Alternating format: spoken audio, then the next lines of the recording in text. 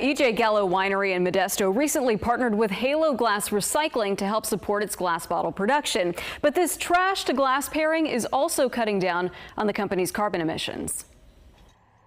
This is about 60% glass, if you can believe it. And that will soon be turned into this, thanks to a perfect pairing in Modesto. So we make approximately two and a half million wine or spirit bottles every single day here at Gallo Glass. Halo Glass Recycling is teaming up with bottle manufacturer Gallo Glass.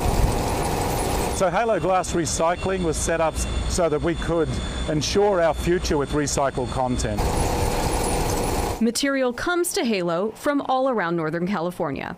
So we have about 700 tons of material coming inbound daily, and we send about the equivalent outbound as well. It's sorted, cleaned, and processed, down to every last bit. There is now technology to sort out glass between two and four millimeter.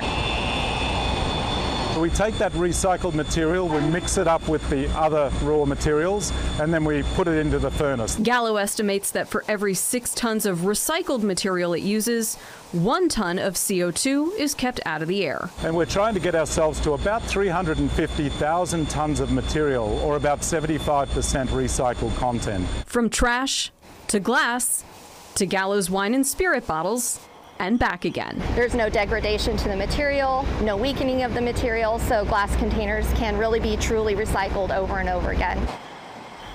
I just like watching the process. It's really, really cool to see. It was really neat to see in person. Yeah, I bet. Well, so what else are they doing there to try to bring down the carbon emissions? Yeah, so they're doing something called lightweighting, which, as the name suggests, they're making wine and spirit bottles that are six ounces lighter Ooh. than the traditional standard. Oh, okay. Doesn't sound like a whole lot, but remember, they're producing over two million of these bottles right. a day. So over wow. time, that really adds up. That saves on gas for shipping, also saves on their materials costs. All right, and obviously they've tested it. They know it's strong enough to hold the wine. Yes, so. and it's the same amount of wine too. Okay. Oh. Yeah. important. Important. Yeah, you left the most important part to the last. All right, thanks, Heather. Yep.